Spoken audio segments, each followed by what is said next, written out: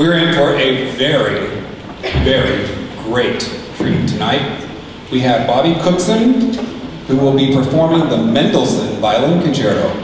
And in all the years, 30 years of being an educator, I have never had a student perform a major concerto on violin like the Mendelssohn.